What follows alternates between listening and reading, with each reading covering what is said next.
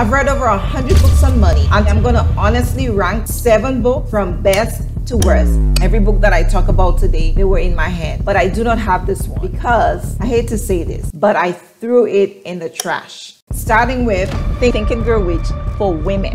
Without question, Napoleon Hill's Think and Grow Rich is very significant and it has impacted millions of people all around the world. But if you ever read that book, you may have noticed that Napoleon Hill wrote from a very masculine perspective, and for the most part, he only interviewed men. Do I have anything against men? Obviously not. My father is a man, and so is my husband. But we know for a fact that men think differently than women. And Sharon Lechter knew that. So she wrote Think and Grow Rich for Women. And this is the women's version of Napoleon Hill's classic Think and Grow Rich. Sharon believes that women define success and wealth differently than men. She explains that women want to be wealthy, but not in the way men do. Women want to be wealthy and have money because of what they can do with money, like spending quality time with their children, making their family happy, having a loving home. These are the things women care about. Men, on the other hand, have other reasons for attaining wealth. Think and Grow Rich for Women provides insight into the 13 steps to success from the perspective and experiences of women who have crafted lives of accomplishment and significance. I love that this book not only mentions billionaire Oprah Winfrey, Sara Blakely, Tory Burch, Mary Kay Ash, but also Mother Teresa, who dedicated her life to helping the sick and bringing hope to the poor. Mother Teresa's her riches was not all about money, but service to the world. And this book emphasizes that money is not enough, and we should not just be satisfied with earning money. According to Sharon here, she quoted Mother Teresa saying, What is more important is our heart.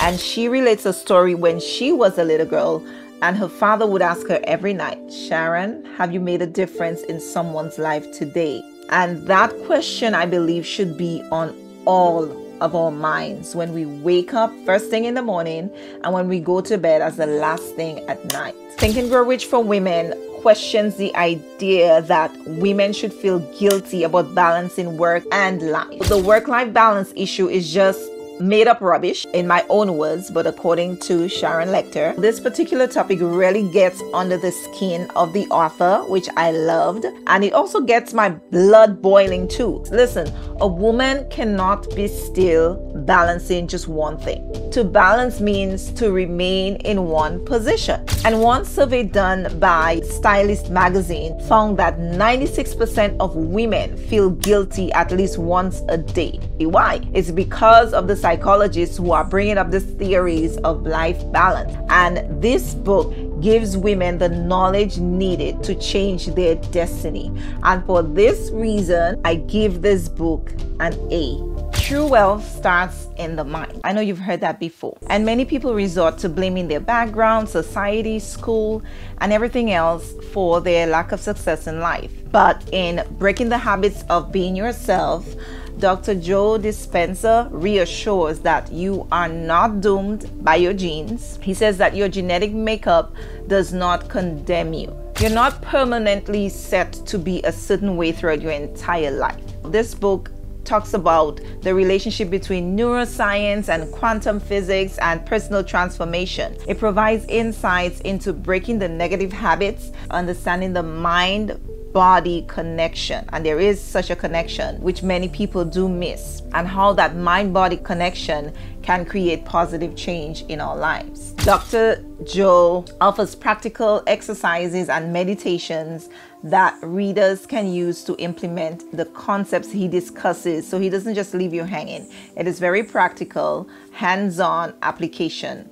It explains how thoughts and emotions will impact your physical well being and your life outcomes, even your money habits. What I really liked about this book is that the author says positive thinking by itself never works. You can't grow up as a negative person practicing negatively for decades of your life and then all of a sudden you want to think positive and expect things to work. It does not work that way. Most people harbor negative feelings deep within themselves. They think one way, but then their true being is the opposite. And according to Dr. Joe, when the mind and the body are in opposition, like they're in war against each other, yes, you're thinking positively, but in the back, there's a subconscious mind that does not think positively. And this book also includes real life stories and case studies of individuals who've successfully applied the principles outlined in the book. The author also even talks about his daughter and how she achieved success just by applying these principles. And this is relatable and inspirational, which I liked. He also gave a story of one woman who always suffered from lack but then she decided to try restructuring her brain, her mindset. And when she did that, she bought a lottery ticket, which she never does, and then she ended up winning $53,000.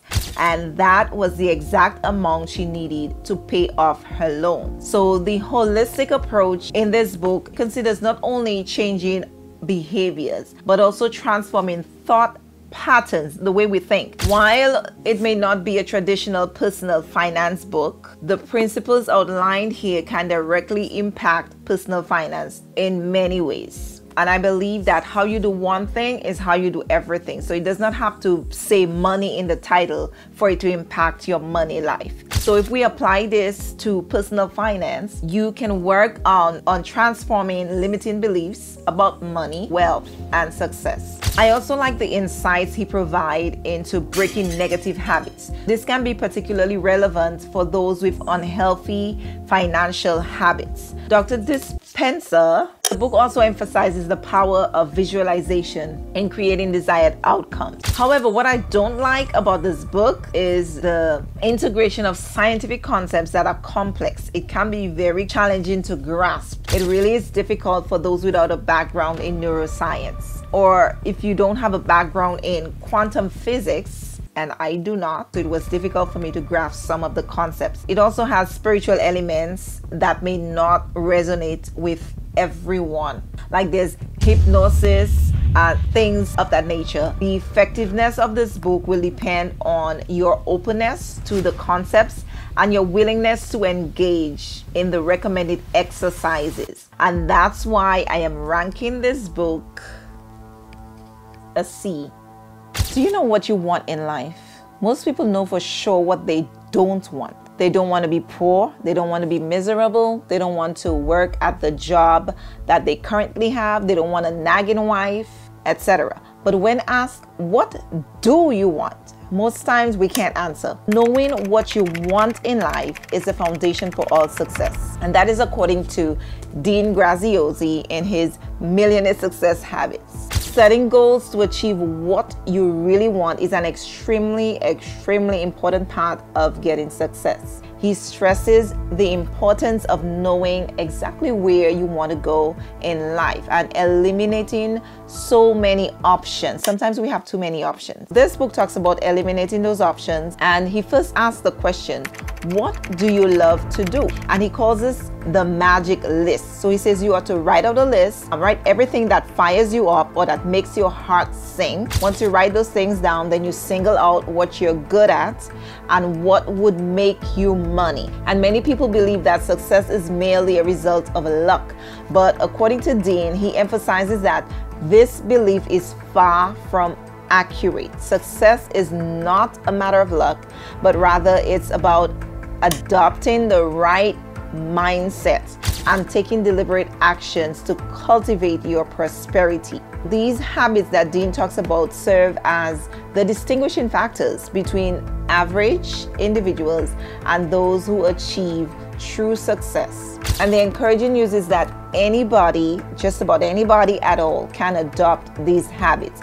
He believes that anybody, as long as they adopt the mindset of the millionaire, can become a millionaire. So, in essence, you need to identify your why, as he calls it. That is the driving force behind your actions. So, to uncover your true motivation or why you want to get what you want to get, will require you to do some self analysis and deep reflection. Unfortunately, the author and his team have devised a technique known as seven levels deep. This method ideally should be done with a partner, but if you don't have anyone to do it with, you can do it by yourself. And it involves asking a series of why questions seven times. For example, you have a goal that you want to achieve. You want to ask yourself, well, why do I want to do this? And then you say, well, because I want the money. Then you ask again, why do I want the money? Because I want to be rich. Then you ask again, why do you want to be rich? And then on and on and on you go. And he says the seventh or eighth time is where you will find the real motivation for doing what you do. It's so important in revealing your underlying motivations. Now, what habits does he swear by? According to him, it's all about goal setting and taking consistent action. Also, what I like is that he's all about setting up systems for tracking your progress, staying organized, and reminding us to take time for rest and recharge. And here's the kicker relationships and mentors are a big thing for him in this book. So, this is a, a big key for millionaire success. One of the habits is to have the right relationship. Consider the author's journey with attention deficit disorder. He had an ADD past, or he claims to have suffered from ADD, and yet he could achieve so much because he chose to rewrite his story. He chose to tell himself otherwise. And because of those habits, I will rank this book a B. But then, how do you do that? How do you unleash your true potential? How do you reach for more if you've had a less than ideal past? Odetta Rockhead gives 12 lessons from her experiences in her book, No Regrets, Just Lessons. She talks about how she was able to become a financial success in spite of the cards not being in her favor, seemingly. Now, while this book is extensive, it is over 400 pages long, there are a few good lessons to be learned from the author's life experiences. But one must have a next level mindset in order to learn from these lessons. Odetta explains how to make peace with your past because you can't go back in time and change the beginning. All we can do is decide to change the ending. Our minds are naturally conditioned to dwell in the past, and our bodies know how to keep score of trauma done to us. But it does no good to stay in that place of pain. It makes no sense to stay in that place of regret. And when she finally let go of her painful past, she was able to embrace her powerful future. No, I'm not a huge fan of personal stories and all of that. That's just me. However, if you do, this book has a lot of stories that will keep your ears perked up, and it did for me.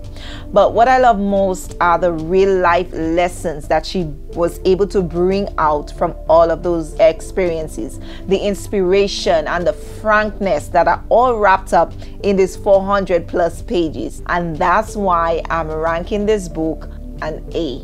So, how can you close the gap between where you are today and where you want to be tomorrow? In his book Unshakable, Tony Robbins explains how to do so. Unshakable is a comprehensive guide to achieving financial security and success. In this book, Tony Robbins emphasizes timeless principles for wealth building. The book addresses the psychological aspects of investing, providing insights. And this is one of the reasons why I liked the book at first with Tony Robbins' signature motivational style, Unshakable not only offers practical steps for financial success, but it also encourages readers to adopt a mindset that withstands market volatility. The inclusion of insights from renowned financial experts, I thought, was really great, a great addition to the book. And remember, this book was written during a financial downturn. So the setting of the book is important. Now, overall, the book aims to empower readers to build a resilient financial foundation. So Tony Robbins looks beyond the now and he talks about how to build a lasting financial future.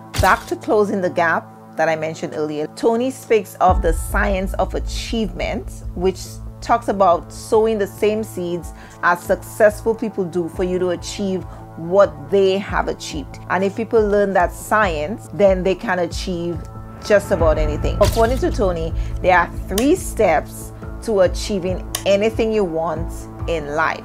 The first step is to focus. He says that whatever you focus on, you give it energy to show up in your life. When you set your mind on something, hopefully something positive, your brain goes to work to ensure that that thing is activated in your life.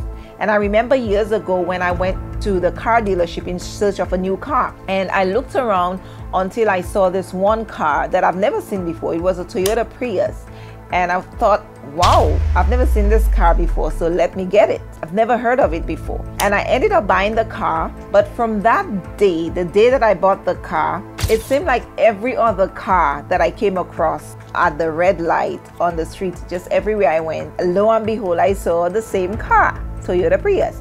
And I was curious why now all of a sudden everyone is buying my car. They're copying me. But no, come to find out the car was actually there all along. I just never saw it until it was on my mind until I was focused on it. That's when I began to see it everywhere. The next step, according to Tony, is to consistently take massive action. It's not enough to think positive thoughts. Use other people who've done it before you as examples and modify what they are doing. According to Tony, you have to do that in order to achieve success.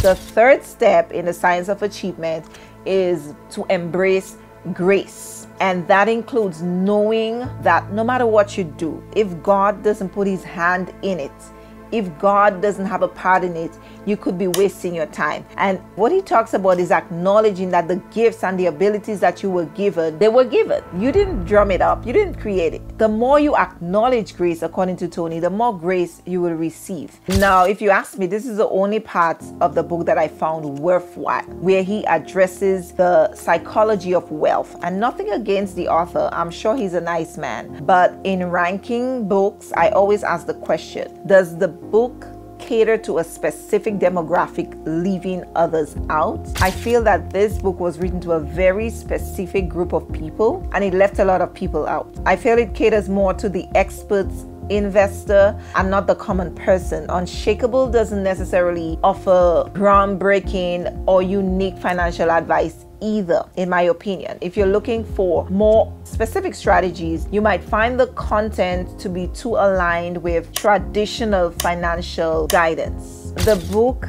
heavily emphasizes investing in the stock market, and that may not align with everyone's financial goals. Unshakable is also primarily centered around the US, I mean, which is quite obvious. It also overlaps with previous works of Tony Robbins. I find that he covers similar financial principles in his previous books. And if you're not a finance major like I am, and you are looking for something simpler, I highly recommend The Simple Path to Wealth by J.L. Collins. The lack of groundbreaking strategies in this book leaves it with a D rating, in my opinion. So, The Magic of Thinking Big contains timeless wisdom. Although the book was written a long time ago in the 50s, I believe, yet the advice here is very applicable to 2023 and beyond. Ever wondered why two children can grow up in the same household? Raised by the same parents, eat the same food, but one of them becomes successful and the other doesn't? Why do some people seem to have everything they could ever want without putting in much effort at all, while others seem to be breaking their backs yet accomplishing nothing? You'll appreciate the insights from the magic of thinking big. The key, as is revealed in this book, lies in understanding and harnessing the power of one's subconscious mind. I remember when I was a child and would see people drive by in their cars. Now, in those days, it was very rare to have your own vehicle. Only the very rich had a vehicle or drug dealers. It's true. So it was a custom to say things like, hmm, I wonder which bank this one raided to get that car. Or, hmm, drug dealer. That was our line of thought growing up. We thought that people who drove cars were thieves. And I'm not talking about nice, fancy cars, just cars. Guess what? Nice cars stayed away from us because of that mindset. Money is attracted to you or will stay away from you based on your thoughts about people who have money. Think about it. These are some of the lessons I grasped from this great, great classic book here. Now, the book speaks about a disease called excusitis. This is another great part of the book. David Schwartz explains that you need to go deep into your study of people. And when you study people, you'll discover unsuccessful people suffer a mind deadening thought disease. We call this disease excusitis. Every failure has this disease in its advanced form, and most average persons have at least a mild case of it. Then he talks about four things you can do to lick health excusitis. He gives you the recipe for how to deal with the health issue. Number one, he says refuse to talk about your health. And that's what is great about this book. It is an all encompassing book. It talks about many different things. The more you talk about an ailment, even the common cold, the worse it seems to get. Success minded people defeat the natural tendency to talk about their bad health. And that is so true. The more you talk about sickness, oh, I'm sick, oh, my head, oh, I have a headache, is the more you find you are getting sick. Number two, refuse to worry about your health. Because again, like number one, the more you worry about your health, the more your health will deteriorate. And that is exactly true. The third way to cure health excusitis, be genuinely grateful, great, be genuinely grateful that your health is as good as it is. There's an old saying worth repeating often. I felt sorry for myself because I had ragged shoes until I met a man who had no feet. This is so true. I'm sure you've heard that saying. So true. He says that all he wants around him are people who can solve problems, who can think up ideas, people who can dream and then develop the dream into a practical application. An idea man can make money with me a fact man cannot. And then I really love this one. The ability to think is of much greater value than the ability to memorize facts. Thinking over memorization. And finally, this book gives a 30 day improvement guide, which I love, love. It is based on the principle that success only comes one step at a time. And that is why there is a 30 day improvement guide where he breaks down by days the steps that we need to take. The book helps you to build a positive mindset, and many readers will find this empowering. You will find it transformative, as I did. It is a must read. I believe every high school student from high school on should read this book yearly because it is very motivational, it is encouraging, it teaches you step by step actually how to think big. And this book is widely applicable. The principles in here you can apply to different areas of life, and you can also apply this to your financial life. And that is why this book is top on my shelf. I have multiple copies, and for these reasons, I am ranking this book as an S tier. Now, you know I love a good book and I'm all for diverse perspective. But when I tell you that this book, it's like the author took morals and morality, literally threw them out the window. He trampled on them and then he went into his car, drove over morals, and then sped off. This is what I feel about the 48 Laws of Power by Robert Greene. The 48 Laws of Power talks about how power works and the ways to get it and keep it. I call it the 48 Laws of Abuse and Exploitation. The book uses stories from history, ideas, from philosophy, and it talks about things we know about how people think to explain its 48 rules. It helps people with understanding how people behave, which is great. But I feel it's grossly overrated. And as you notice, I had all the other books reviewed in my hand, but I do not have this one because I hate to say this, but I threw it in the trash. Yeah, I got rid of it. I think the author wants people to believe that this book has a lot to say. That's why it's so big, so hefty, when it is really a lot of fluff and a lot of danger, in my opinion. My main squabble with this book is that it doesn't emphasize doing the right thing. Someone even labeled it the treasure map to hell. Trying to enjoy this book was like attempting to appreciate a painting in total darkness. It, it just didn't make sense. I couldn't. In reading this book, I found myself swimming against the current of the author's ideas, desperately trying to find solid ground. The author doesn't seem to care much about what's right or wrong. He seems more interested in gaining and keeping power. I have spoken extensively about the dangers of this book in a previous video, which I recommend if you want to hear about some of the laws. But today I'll only mention a few laws here that are incredibly infuriating to me. Robert uses manipulative tactics and strategies which are ethically questionable or even socially harmful. For example, in Law 7, he says to get others to do the work for you and take all the credit. Yes, I do believe in outsourcing. You can outsource tasks to other people and you can have them help you, but deliberately taking the credit for someone else's work, isn't that plagiarism? Another issue I have there with this book is the lack of moral guidance. He does not provide a moral compass. And that leaves the readers, at least it did me, with a skewed perspective on power and influence. For example, in Law 14, he says to pose as a friend but work as a spy.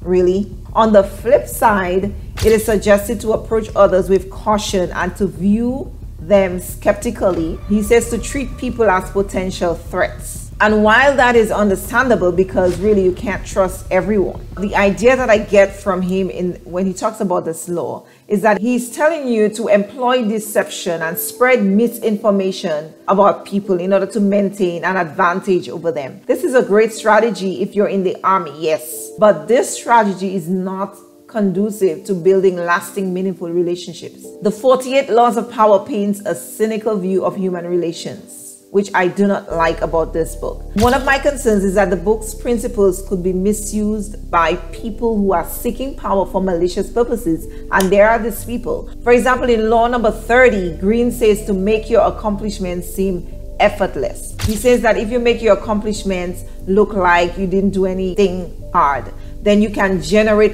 awe in others and you can look more powerful when you do that. And he knows that, so he's telling us to capitalize on people's ignorance. But interestingly, it's so much easier to just be truthful. And I feel that this book skips over that altogether. If you put the advice from this book into action, I believe you might just find yourself friendless, lonely, having no fulfillment in life. Remember, what goes around comes around. And that's what I keep thinking when I read this book. It's to come back around if I do this. And that's why I am rating this book with a grade of F. If you've read any of these books or have any recommendations of books that I should read, let me know in the comments below. And be sure to check out this video on the 8 books you should never read.